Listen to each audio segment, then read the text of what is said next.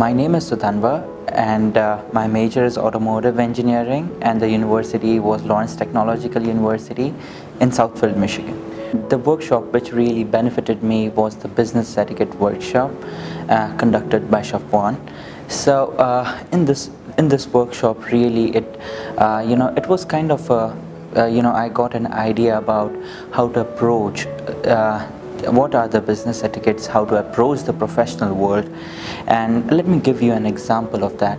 So uh, I, I was really making few uh, you know mistakes while writing emails by directly uh, you know uh, directly talking about the name of the person so hey directly addressing the person rather than including uh, Mr. or Miss and the last name so that was uh, something which really helped me out in order to increase the number of responses on the LinkedIn which I generally use in order to you know expand my network.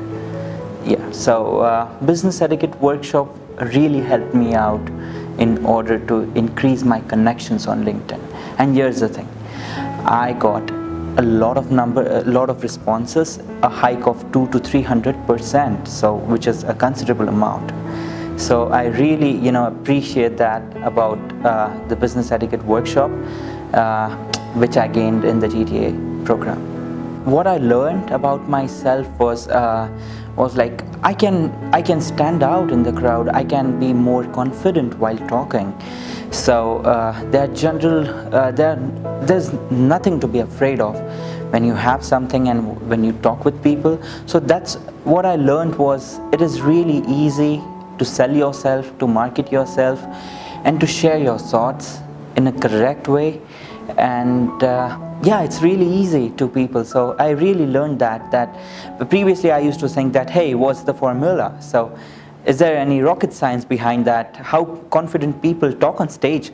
So uh, I was really amazed while. Uh, uh, when we had the convocation and uh, I was told by Shafwan to uh, you know give a short speech about my experience about the GTA workshop. And uh, that's what I learned that it's really easy to present your ideas. And uh, it, the only thing which you uh, require is courage. So yeah that's what I've learned through this program